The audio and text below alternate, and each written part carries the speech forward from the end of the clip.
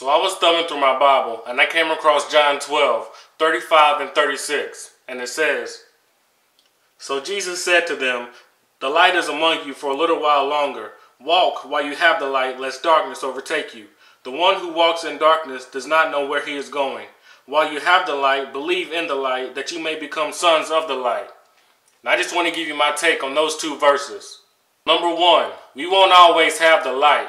When Jesus said the light is among you for a little while longer, he was talking about himself, because soon he would be crucified for the sins of the world. And that still applies today in two ways. The first way is spiritual, because in the beginning of the Bible, in Genesis 6 3, it says, My spirit will not abide with man forever, which is now the Holy Ghost. And when he says the light is among you for a little while longer, you can think of it in a physical way as well. Because the life we live isn't going to last forever, and no one knows how much time we have left. So I believe we should make this a mindset that we only have this life for a little while longer. I just mean we should do all we can while we can. And that leads me to my second point. Number two, walk in the light. Jesus said walk while you have the light. We got to make the most of the light while we have it.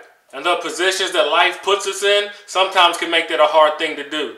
But when you do, it all works out for the good. And as long as the light is available to us, we'd be stupid not to use it. That's like never turning the lights on in the house and complaining that you can't see because it's too dark. Number three, know where you're going. Jesus said, The one who walks in the darkness does not know where he is going. If you're saved, you're either walking in the light or walking in the darkness. There's no in between, there's no gray area. But if you're lost, you're just walking in darkness. The difference between those who are saved and those who are lost is when you're saved and you're walking through darkness, it's true. You don't know where you're going, but you know where to go.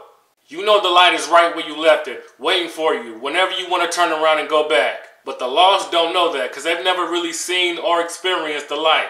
Because if they did, I don't think they would be lost. But that's where we come in. And that leads me to my last point. Number four, the sons of light. Those who are saved are all sons of light, man or woman.